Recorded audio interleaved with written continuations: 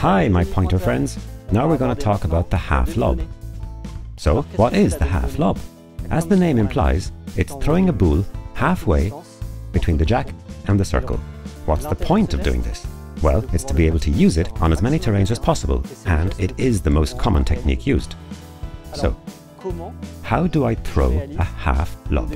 Well, I practice. And how do I practice? I place a circle, as I told you, at an equal distance between the jack and the circle. And I'm going to try to throw my boules into this circle at a height of between 1 meter and 1 meter 50 to give a little rolling effect to my boule, but just enough.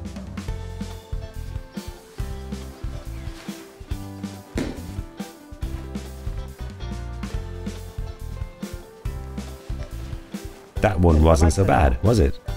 With the half lob, there are no half measures. See you soon, pointers. Come on, let's have another round.